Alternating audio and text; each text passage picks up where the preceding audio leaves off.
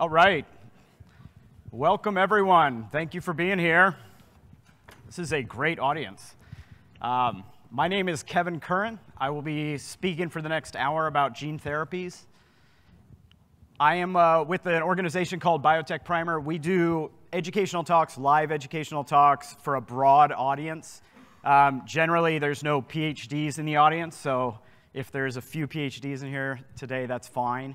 Um, this might be you know, maybe some repeated information, but we intend to hit a broad audience. Most of the industry is actually non-PhDs and folks that benefit from nice overviews of some new drug categories. So I'm going to talk about gene therapy, and I'm going to mostly focus on the science, the biology, um, but I'll sort of pepper in some industry anecdotes and, and kind of orient us with where we're at in the, in the, uh, the the, the landscape right now with gene therapy approvals.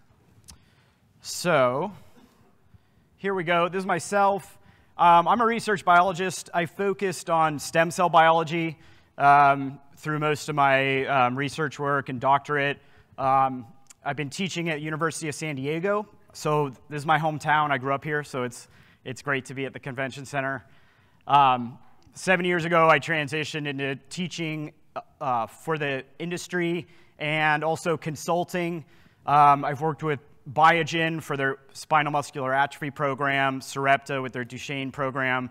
I'm currently uh, consulting for Bristol Myers, so I'm involved with CAR T cell therapy, which is the most successful example of an ex vivo gene therapy. Um, and they're going after non Hodgkin's lymphoma and um, multiple myeloma. Um, so the company Biotech Primer, we do these, you know, overview courses, biotech for non-scientists, and then we also have focus talks, drug manufacturing, drug development, FDA regulatory overviews. Um, we've got a booth um, over in the 5,000s, over uh, 5438, so come on by. We've got free books, free uh, kind of Bio 101 books talking about cell therapy and gene therapy that kind of reiterates what I'll talk about today. Um, we partner with Bio, which is happening right now, and um, I also teach classes with these other West Coast organizations, um, CLS, Life Science Washington up in Seattle, and Biocom. So normally this course is really interactive, and we have kind of wide-ranging um, questions and, and whatnot. With this type of a, a setting, I'm just going to talk through, and I've got a timer right here, so I will stop at least um, 10 minutes before um, the hour, um, so we have time for Q&A. Um, but I'll ask you to hold your questions till then.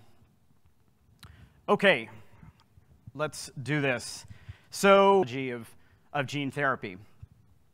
Um, I feel like I kind of hit these points already. I think everyone's clear with uh, the, the rest of the cell biology here. So I mentioned, you know, there's 7,000 genetic disorders. Some of those are better characterized than others. We've got these monogenetic diseases, so where there's one gene that causes the disease. So these are the ones you hear the most about, and, and they're the ones where there's the most competition right now to get an approved gene therapy. So there's a lot of companies going after sickle cell anemia. This is just one base letter change. In the hemophilia gene, you have, uh, there's, there's an adenine to thymine switch, so it's a single letter change, and that is sufficient to create such a poorly formed uh, hemoglobin protein that it crashes out the whole red blood cell to the point where the, sick, the, the red blood cell looks like a sickle cell, and it, and, and it, screws up the whole circulatory system.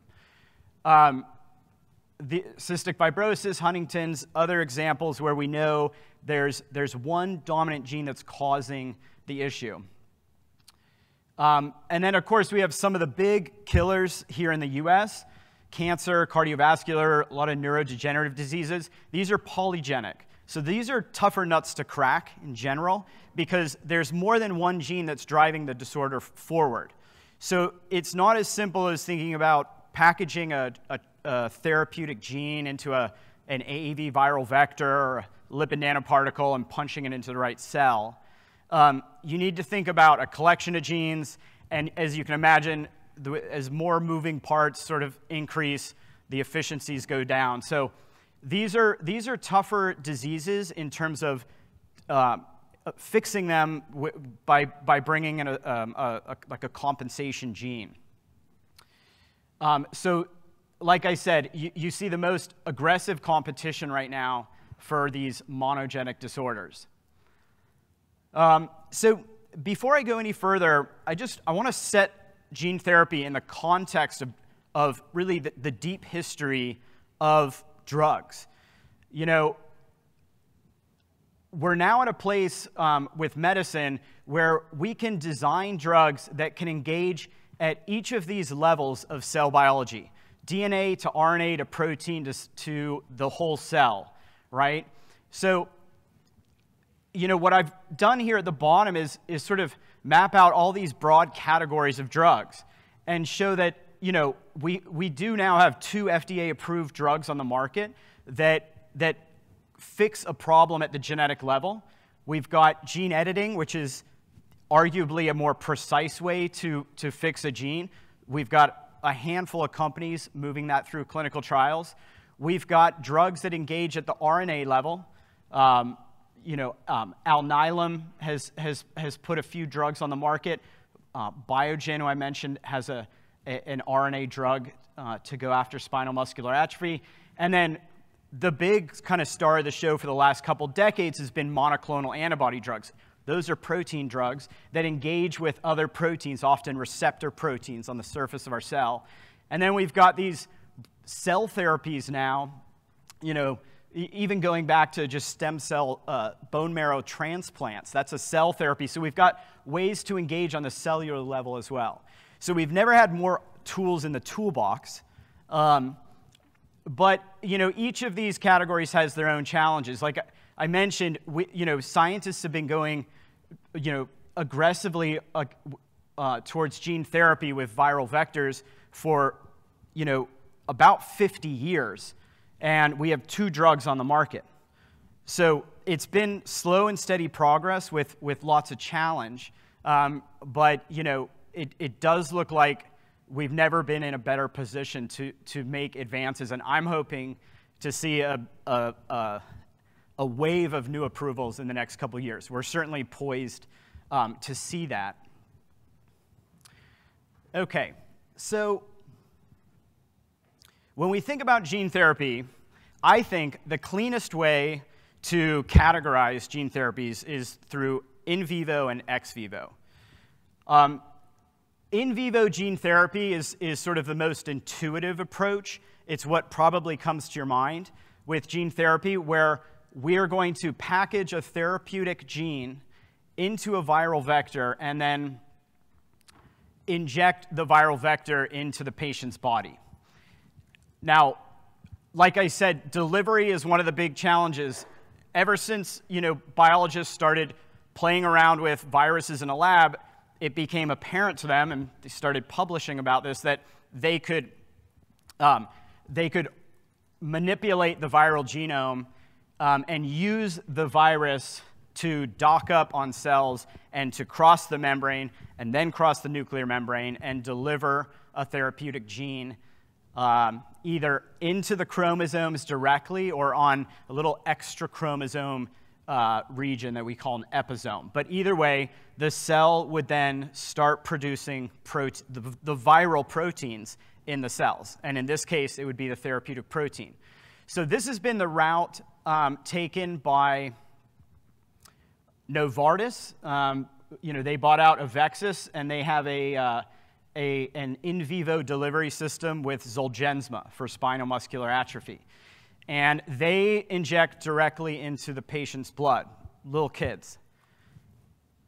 Um, and that is sufficient. The AAV, they use AV9, it will dock up on the motor neurons in the, in the spine and, and punch the therapeutic protein um, into the motor neurons, and then they start producing SMN protein, and the motor neurons remain healthy. They don't die off any further.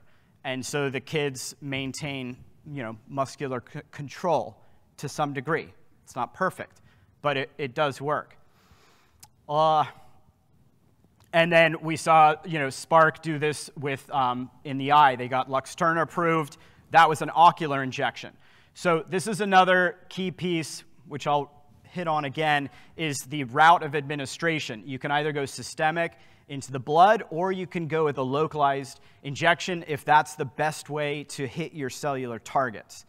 Um, the eye is, is, is, uh, is nice because it's separate from the immune system, and I'll talk about why that's a value. Um, so that's a real quick nutshell on in, in vivo delivery. Um, and there's a lot of steps involved with manufacturing AAV virus um, that is ready to go at the right dose to be injected into the patient. That's been a big challenge. And there's some talks this morning about um, you know, how to kind of how to help out the manufacturing system to make sure we have enough viral vector um, to, to, to, satisfy the industry um, and the patients. So that's in vivo. Now there's this other category, which is ex vivo, and this is you know outside of life. This is outside of the human body, and this is proven to be incredibly effective. Um, it's really a form of cell therapy. It's a, it's a form of cell therapy that involves genetic manipulation. That's the way to think about ex vivo cell therapy, and it's the way to think about CAR T as a treatment for cancer patients. Um, CAR T is arguably the most successful version of ex vivo gene therapy. So, what does this look like? Um, you remove a cell population from the body. Okay. Now, as you, this is most readily done with blood cells and immune cells. Anything that's circulating in liquid is going to be a good candidate to take out of the body and then keep surviving in a lab environment for a few weeks while you genetically manipulate them and then be in a, in a, you're in a position where you can reinfuse them back into the patient's body. And they're now like super.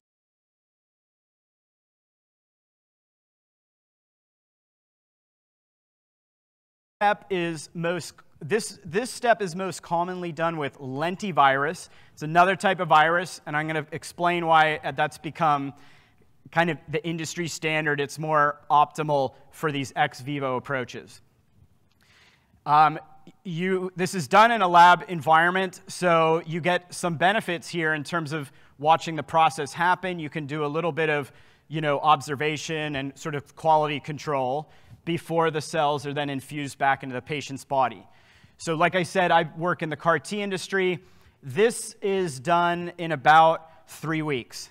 And, and Kite Pharma, owned now by Gilead, they do this really well. I will say that. Um, they, in terms of the speed with which they manufacture and, and the success rate, that's, that's, that's um, they, they, they, they've, they've, done as, uh, uh, they've done a great job. Um, and their drug is called Yescarta. It's approved for non Hodgkin's lymphoma, and it's, it's really, I think, the most successful ex vivo drug in terms of patients treated and, um, yeah. Um, so there's a lot of hospital steps involved here. So this is quite intensive. Um, it's, you know, the drugs are expensive, right? You, you, it, it, needs to be mentioned. This is about 500K for a single injection. Every product differs a little bit, but there's at least 500K in hospital costs associated with this the patients coming in and out, there, there's, a, there's a lymphodepleting uh, chemotherapy step. They're in and out of the apheresis clinic to pull blood. Um, they're coming back in for their infusion. Sometimes the adverse events keep them at the hospital for a week or 10 days, sometimes in the um, ICU, in the worst case, dealing with um, you know, side effects, neurotox, cytokine release syndrome. Um, that part's getting better, and physicians are getting, becoming more proficient with how to mitigate that. Um, so that's good. Um, but either way, it's, you know, it can go over a million total in cost. So, you know, this is me sort of editorializing, but this ultimately has more scalability to it, just inherently, if you can just do a single injection as people show up. Um, so that's something to think about. Um, the, another big challenge with this approach is these, this works best for cells that can be removed from the human body. So there's going to be a lot of cells, the, your target cells, that are not good candidates um, for this. If you think in terms of, you know, uh, like a glioblastoma, if you want to address uh, central nervous system cancer, something like that. Um, we, are seeing it work really well for bone marrow cells um, and, and, and immune cells. Um, so uh, companies are, are going to try to be really innovative to see what other cell types they can go after in an ex vivo way. And you're seeing a lot of companies that are going to try to shift this to what's called an allogenic approach or off the shelf where you're not customizing every population to the patient. You're creating, um, uh, you know, uh, cells that can be used for uh, multiple patients and, and, and without triggering immune rejection. That's one of the big challenges. Allogene's an example of a company going after that. All right. So to further delineate between these two, we're talking about ex vivo and in vivo. Ex vivo, CAR T is the example. I mentioned it's often performed with lentiviruses. Um, lentivirus directly injects the gene into the chromosomes. That's one of the key differences between AAV viruses. AAVs, for the most part, remain out off the chromosomes. So, what does that mean? The ex vivo is good for cells that rapidly divide because with each downstream cell, um, the, you know, the replication will pass that, the therapeutic gene on to the, the daughter cells. Um, whereas that could be diluted out with an AV approach. If, you, if you're not punching into the chromosomes, um, that therapeutic gene could, can be diluted out with, with lots of subsequent cell divisions. That's a big consideration. Um, we're not tied to the viral vector approach, it's just what we're doing now, and it's what's working uh, commercially. I, I mentioned, uh, you know, in, ter- in, terms of the FDA, we've got two um, AAV in vivo drugs approved. We've got six CAR Ts approved, six ex vivos approved, approved in the US. Um, and a lot of those have come recently in the last few years. Now we have Carvykti for multiple myeloma from Janssen, and then we have uh, Abecma as well for multiple myeloma from BMS. Um, those just happened recently. So um, everyone's using some lentivirus or something similar to lentivirus. It's possible that there's a non-viral approach that would work better. This is, you know, the next 10 years should bear this out. Lipid nanoparticles are now being pursued. And then there's also you know, mechanical ways to pop genes into cells, electroporation and otherwise. So that's something to keep in mind. We're certainly not um, attached at the hip to viral vectors. As, as many of you folks know, it's incredibly expensive to manufacture sufficient viral vectors. And you know, the FDA and these, these companies are still sort of ironing out the details in terms of best practices and whatnot. So um, there's a lot of room for improvement, but they certainly work um, at this point.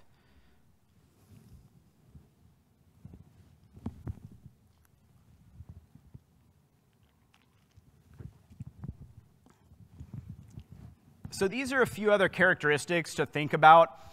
Really, when you're thinking about any vector, any delivery system that can help you reach a target gene with a, a, a target cell with a therapeutic gene. Um, you know, you want to think safety profile. The reason we've the industry is focused on these these two is because they are non-pathogenic.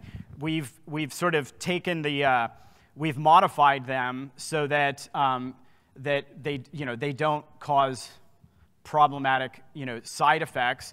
Um, AAV is you know, compared to other viral vectors, it has very low immune issues, so low, low, low immuno, immunogenicity. Um, but that said, it's, it's, it's not, we're not at zero there. Um, they both target dividing and non dividing cells. That's good. Um, and that's why they're both in favor. I mentioned that lentivirus will directly insert the therapeutic gene into the chromosome. Um, while that's good because it doesn't dilute out the, the, the protein levels over time, um, there's a risk of causing a mutation. There's a risk that it might land in one of your good genes. So we call that insertional mutagenesis. And you can see if anyone's tracking Bluebird Bio right now, they just had an AdCom uh, just within the week. And that was a big piece that was being looked at by the FDA is where, where are their therapeutic genes landing? What gene are they disrupting? And then is that in itself causing a cancer or some kind of a problem? So that's, that is a going concern, but overall, it does seem to be safe, um, you know? So, so, you know, the industry is certainly moving forward that.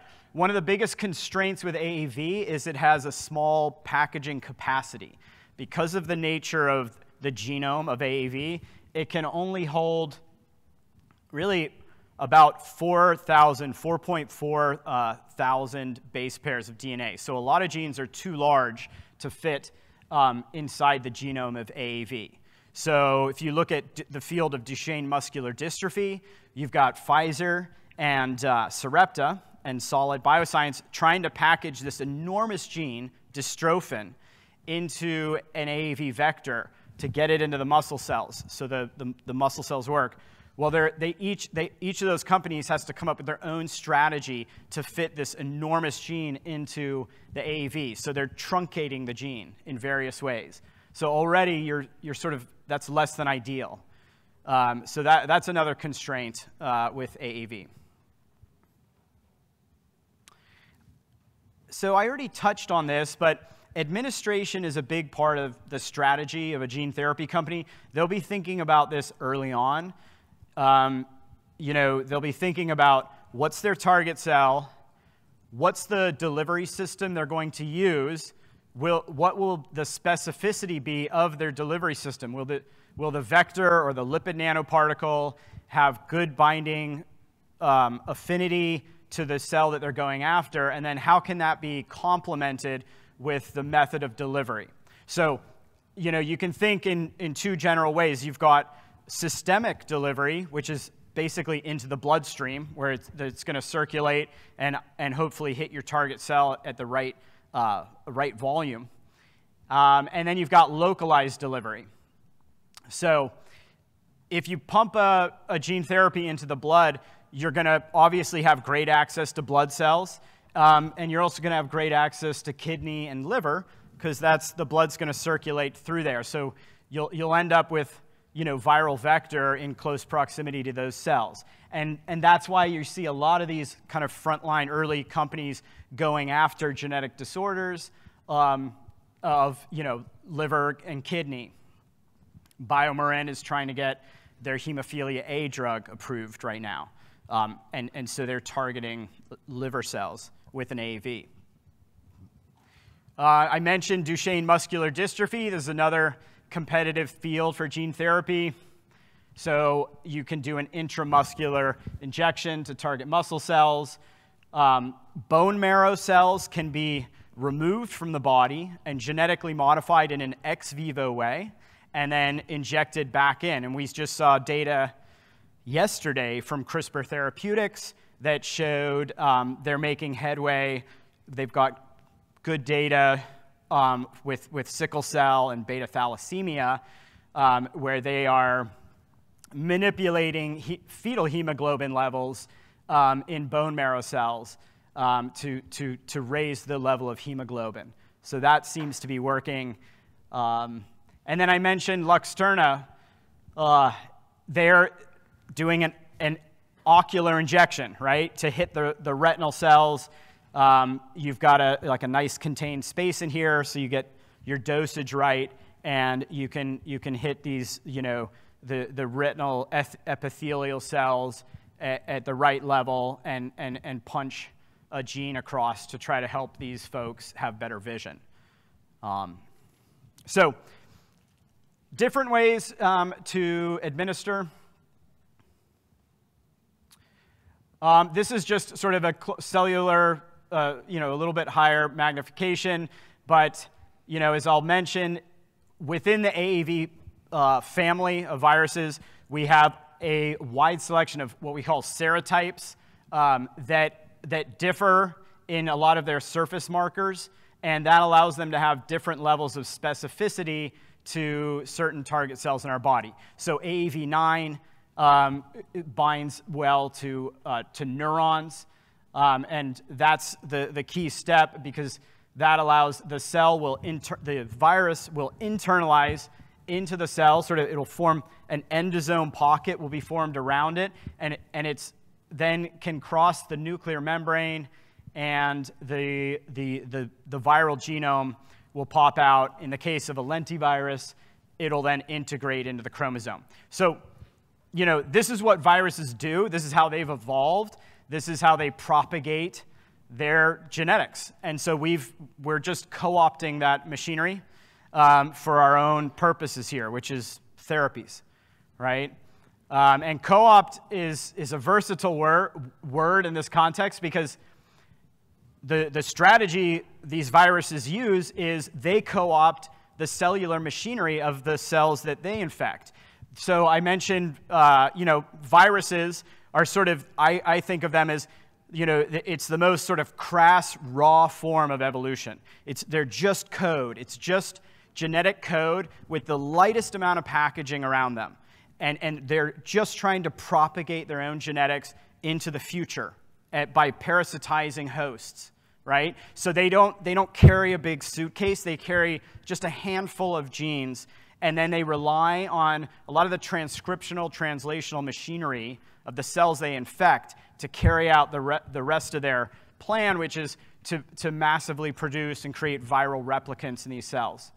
So, um, as I'm going to touch on, of course, that replication component had to be disabled before this would be a safe and viable approach. And so the, the, the, the genes that an AAV does carry, which are we call rep and cap genes, they have been removed from the virus and, and put on an, an adjacent uh, plasmid that's, that's necessary for manufacturing. But the AAV has lost its capacity to replicate when it's used in a therapeutic context. That's worth mentioning.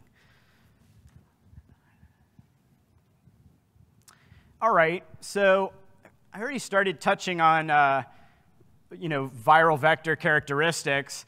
Um, I've talked about Lenti versus AAV. It's also worth mentioning promoters. Um, that's also part of the strategy when a company thinks about how to deliver the therapeutic gene to the right cell. It's, they need to punch, they need to dock up the virus on the surface of the cell, but they, once the, the therapeutic uh, gene is inside the cell, you want to make sure that it's actually going to be expressed, right? The gene has to be turned on so that it, it transcribes to RNA and then translates to protein. That's what really matters is getting sufficient levels of the therapeutic protein in those cells. So we can use little regulatory pieces of DNA called promoters that are often cell specific. So that will be part of the, the, the construct, the, the, the therapeutic gene with a little piece of upstream regulatory DNA that will drive expression in the target cells. Um, this is going to be really scrutinized moving forward because when, when you think about gene therapy, you're hoping for a one and done approach. That's the dream, right? A curative treatment. That means that you need to be you need to now be consistently producing sufficient levels of therapeutic protein for a decade, maybe two decades, maybe the whole lifetime, right? Um, and so that promoter is going to is going to be a, a, a, big factor in sort of optimally driving the gene expression so that it doesn't shut off, right? That, that would be a problem if the gene is in place, but it, it's, tr- it's transcriptionally repressed, okay? And so, you know, and, and, the honest truth is we're still sort of sorting out a lot of these details where, you know, I don't know, maybe we're 10 years into Zolgensma data if you go back to early clinical trials. I, am not sure if that's the exact number, but we obviously don't have two decades of clinical data to ask about durability, right? And I'm going to show, well, I'll get to it in a second. Um, yeah, so I've already mentioned delivery route. Um, intrathecal is a lumbar punch into the cerebral spinal fluid. Very invasive. So again, thinking about scalability, how are we going to reach big numbers of patients? Um, we need to think, you know, about, you know, obviously an intrathecal administration is going to be really tough. You need a team of neurosurgeons, right, using tracing dyes and whatnot to sort of dodge the, the, the spine and, and get, get the, the vector in place. So big consideration when you try to think about hitting big numbers of peoples with this approach. Um, this just gives you a feel for um, the, the variety of AAV that exists. AAV is naturally occurring, so these are, these are variants or serotypes of AAV that have been found in the human body or found in chimpanzees. Um, and we, what you know, scientists have found is that depending on the version of the viral vector, they have uh, you know, higher or lower affinities for some of these, these different cells. And the, the binding and affinity is driven by the, you know, a, a, really a whole bunch of molecules on the surface of the AAV vector. V, VP3 is one of the capsid proteins that's important in determining binding and affinity. I'm not going to go into too much detail about AV manufacturing process because it gets down into the weeds really fast. Um, and it's, it's inherently complicated, which is one of the problems with AAV manufacturing, is there's so many moving parts. Um, there's multiple plasmids to create an AAV viral vector with a therapeutic gene um, ready to go, filled and finish, um, is incredibly complex. You need to, you, it's often done in hex cells, so you're pumping some genetic material on often three separate plasmids, and you are transfecting those into hex cells, which is human embryonic kidney cells, in culture. And then the vi- th- those genes will express into viral proteins, and the AAV will form in the context of these cultured cells. And then they have to be, those cells are cracked open, and you purify out the viral vector. Um, and that does not happen perfectly. It does not happen with 100% efficiency. So there's a lot of impurities that have to be removed. And, I, and the industry is not completely clear on what are the key you know, metrics. You'll hear a lot of conversation right now about empty cas- caspid, ugh, empty uh, capsids, which just means it's a viral vector that formed, but it doesn't have, it doesn't have the full set of, of of genes in it that it needs to. And it, we're still figuring out how that, how that affects efficiency and safety in a, in a therapeutic context. That's just one piece that the FDA are sort of you know, working with companies to kind of gain ground on. But you know, in broad strokes, we, like I said, th this is uh, just a little schematic of the viral um, you know, genome and the, this is the replication and capsid proteins that are removed, rendering the AAV virus incapable of replicating. And then we can pop in what, the transgene, which is the therapeutic gene that will go in place. And then everything between, between these ITRs, which are inverted, um, inverted terminal repeats, that's what will actually be read out. Okay, that's plenty of detail there. We just show this to show what Zol, uh, Novartis is using for Zolgensma. They've, you know, in terms of in vivo, they've treated, um, yeah, quite a few spinal muscular atrophy patients at this point.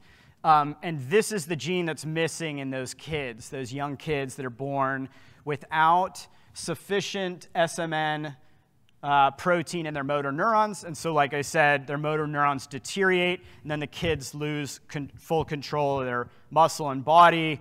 And, and if they have type 1 SMA, they perish at a very young age. So, the, the, the objective is to take that SMN gene, um, package it inside the ITR. They came up with their, this is their promoter, these are their regulatory pieces of DNA that will drive SMN expression. And it's, you know, from what I've seen, it's, it's, it is working. They're, they're, um, to, to, to produce SMN protein. Um, like I said, the, the durability piece and how many years will it can keep expressing is always going to be a question, and we're just going to learn as we go along. Um, I've sort of touched on this.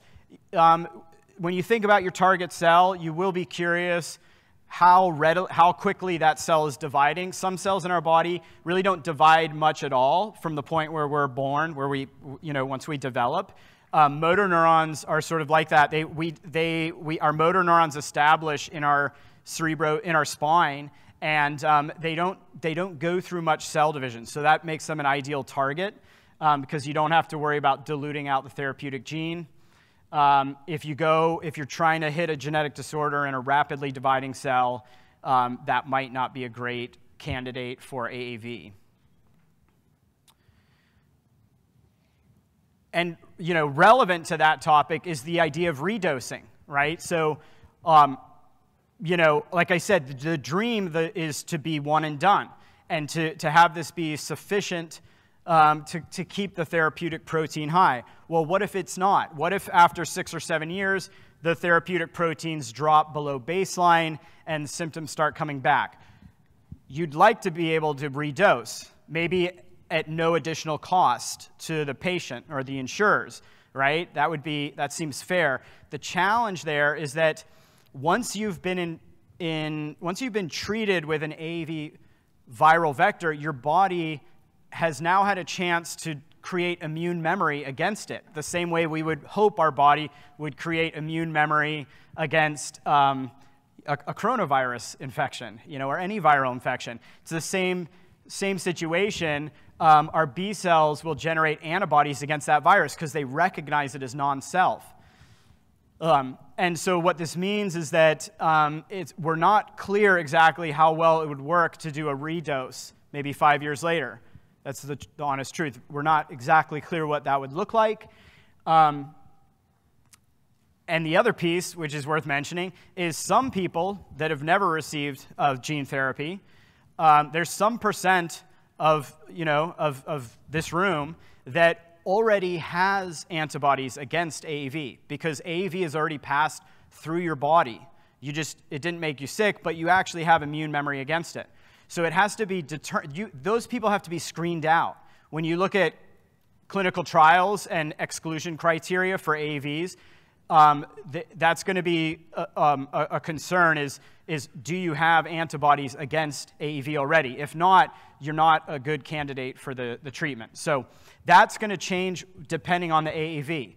Um, I believe the number with, with Zolgensma, I, I think it was somewhere around 10 to 20% of the population already had antibodies against AV9, and so they were not candidates for the drug. So it's a consideration. Again, we're not wedded to the idea of viral vectors. And if someone comes up with a better system for delivering genes to target cells um, that doesn't, doesn't kind of generate immune response like this, that would be great. All right, we're doing well on time. We've got um, 17 minutes left. I'm going to aim to end in about seven minutes, and then I can open it up to questions.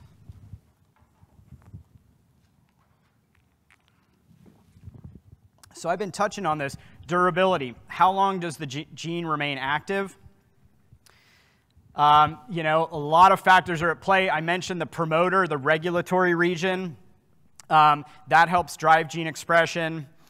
Um, the other piece is going to be what's the optimal dose, right? You, you, don't, you want to dose high enough that you're hitting enough target cells that then get that therapeutic gene, but you don't want to dose with too many vector genomes where you trigger toxicity. And also, these vector genomes are incredibly expensive, right? Especially now they should come, they, they will come down in cost, um, but getting dose right and the genetic regulatory elements, um, thinking in terms of how quickly those cells naturally turn over in your body. These are all going to contribute to some amount of duration where the gene therapy works. Now, I've, a, a lot of folks in gene therapy have been following hemophilia. Uh, BioMarin has a drug called Roctavian, and the FDA keeps asking them for more, more years of data. They're not quite giving them the thumbs up, so this drug's not on the market. But, you know, the, the goal here with this drug is to punch in, to, to, to, to insert the clotting factor that hemophiliacs need that prevents their blood from coagulating, right? They're missing clotting factor 8. It's an enzyme. And so the strategy is to use an AAV vector to insert clotting factor 8 into uh, liver cells, and you will then um, see he, the clotting factor increase over a baseline. So this is their, I think this is their three-year data right here. I, I grabbed this because it tells the story pretty well. Here's baseline if you're a hemophiliac. Now, after the gene therapy, you see this increase, maybe peaking out at 37 to 40 weeks after uh, um, administration. This is, you know, that's the bio, the biomarker is factor eight. It's also one of their clinical endpoints. It's what's being scrutinized, and it absolutely correlates with bleeding events, which is what the patient cares about, right? And so you do get a, a, a huge reduction in bleeding events per year once, once you get this bump in this clotting factor protein, right? Now, what we're all tracking is whether this is a slow drop off or a plateau. And that's, that really gets to the heart of this durability question, right? So we're now at, I think we're, they've now released maybe five years of data, um, somewhere around that. And, and, and uh, there's, it's still not clear exactly how stable it is, um, and, and, and, and, and really what, what does the FDA want to see here, honestly? That's part of it. And, and then and what's the correlation with bleeding events? Um, you can see these are big error bars, so you get variation per patient. Um, anyway, I just use this as an example just to visualize what durability looks like. It's, you know, do we settle at a, at a, at a baseline that, that makes the patient's lives better, or after six or seven years, does it dip below that baseline and their bleeding events start coming up? It's an important question for the patients. It's also important for reimbursement because these drugs, Zolgensma's cost 2.1 million for a single injection. They're, the, these companies are going over 1 million for the, you know, at least for, for, for these on the market. Um, that and and we're not getting into you know you know cost and whatnot, but uh, it certainly matters when you think about durability. It's it's an important factor when you think about how many years of durability you're going to get.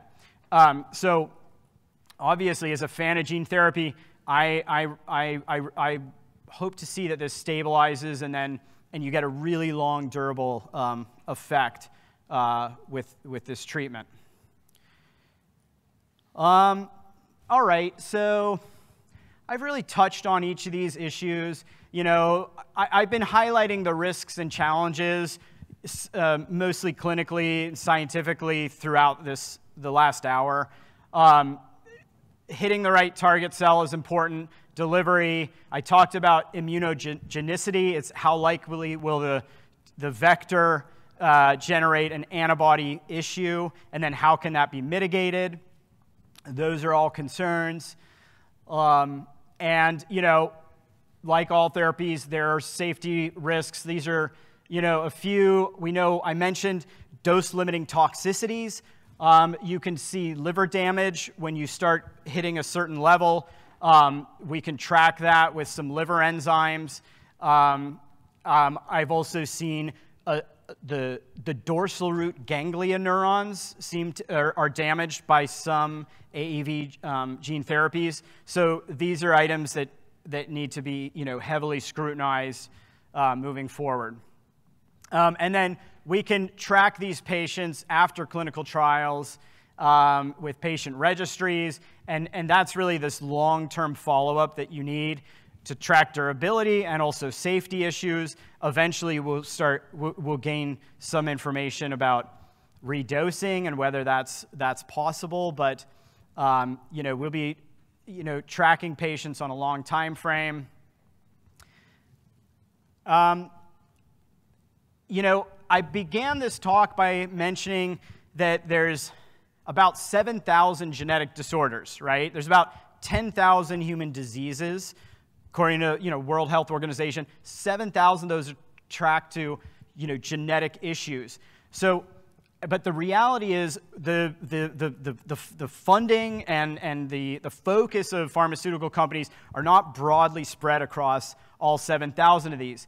In fact, there's there's really a small handful of genetic disorders that are, are drawing a lot of the attention. And it's because they satisfy all of these key criteria for what makes sense clinically and commercially, right? So, um, you know, clear biomarkers, certain number of prevalence, the existence of disease foundations, um, you know, uh, IP environment, whatnot. Um, but what that's, I think that's great on the front end, but in the long term, you know, we're, we're going to want to move off of these, these small handful of genetic disorders. Um, and, and at some point, it, it becomes a, a, a, problem for multiple companies to go after them because we're going to have so many um, approved drugs for just a small number. So that the market competition is going to be really intense. But fortunately, with new viral vectors, new vectors outside of viruses, cell targeting, there's a lot of new kind of biotech, new approaches that are being explored where, you know, you know I'm being optimistic here. In the next decade, um, we'll be able to make headway on, much broader range of these genetic disorders. Okay.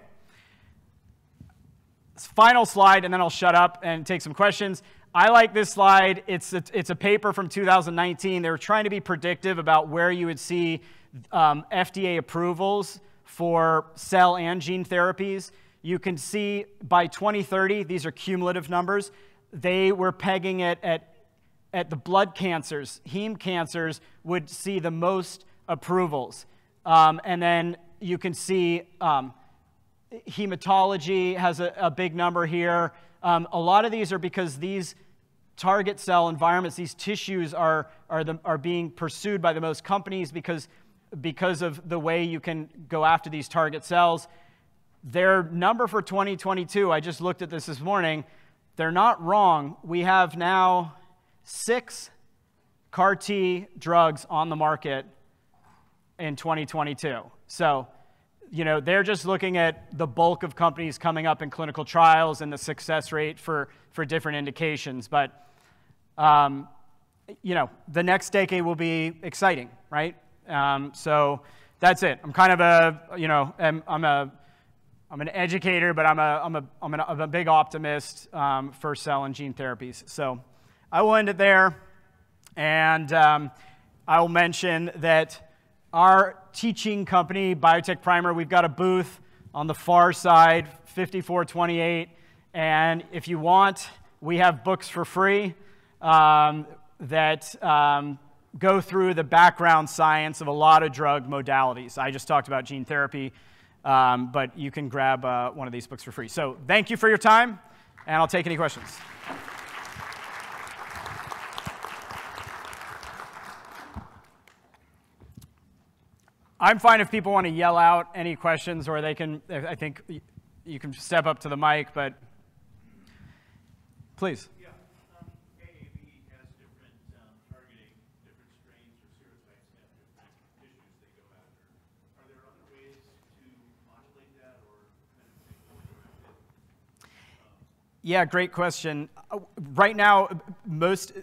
we're going off these naturally existing serotypes with their, their VP3 proteins and some glycans and sugar molecules.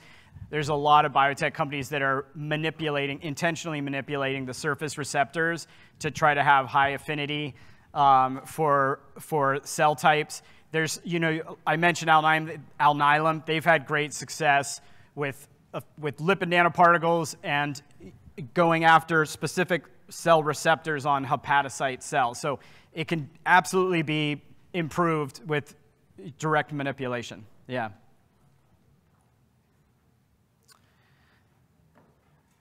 Hi. Hey. Oh, okay.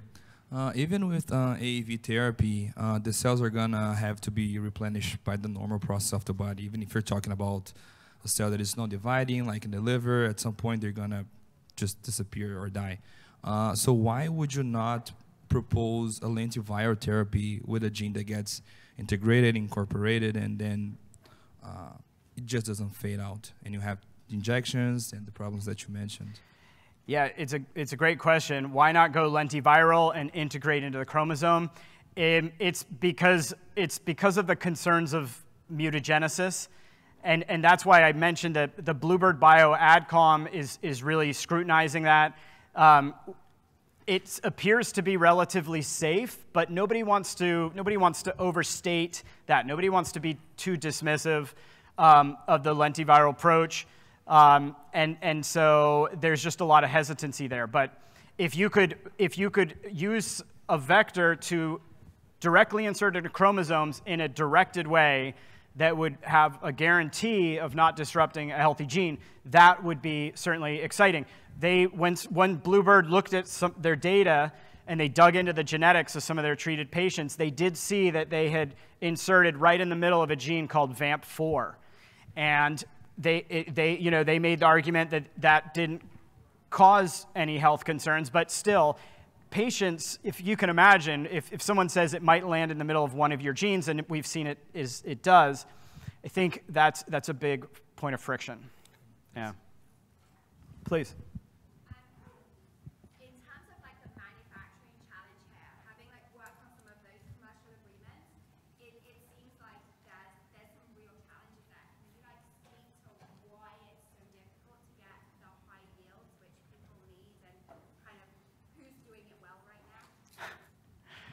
You know, I think the honest answer is that I cannot give you a great answer there. Um, eh, there's probably, I'm sure there's people in the room that, that, that could. I think, um, I, well, it's, everything's expensive. Now you've got, you know, supply chain issues. There's, so I can point to two points in, in AV vector manufacturing that are expensive. They, er, they need high-grade CGMP plasmids, really high quality plasmids to do their, their triple transfections into the hex cells. That in itself ha it has its own shortages. So their raw materials have their own shortages, e even though we the, the drug companies think of the viral vector as the, their raw material they're waiting on. Um, good trans, good, good plasmids are expensive. And then also the downstream step, which is once they crack open the hex cells and then run it through column chromatography, and try to filter out all the impurities, th that in itself is incredibly expensive.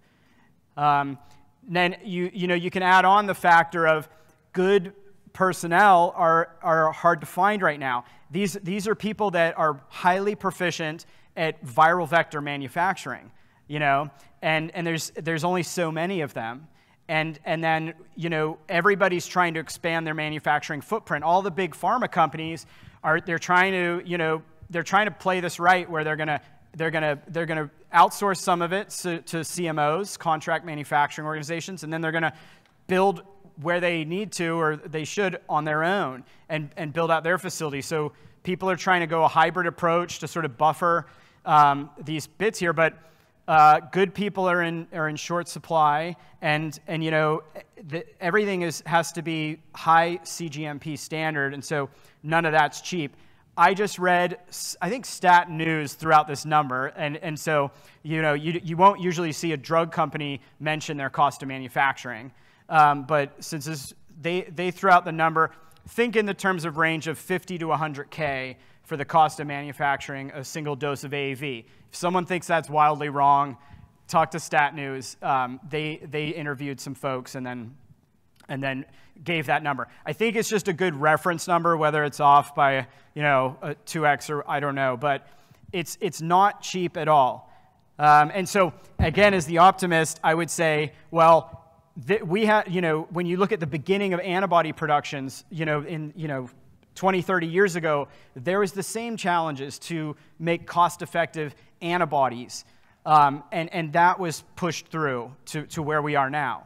Um, and so I think it's reasonable to say that the same efficiencies and, and, and, and, and, and scale can be met to, to something with AEB. I don't see anything that's inherently so different than, than the, the, the curve that was required for that. So I, I, I think it's a matter of time, but we may find that LNPs or something, some other you know, synthetic particle is a better way to go, and it, it may be ditched over time. Yeah.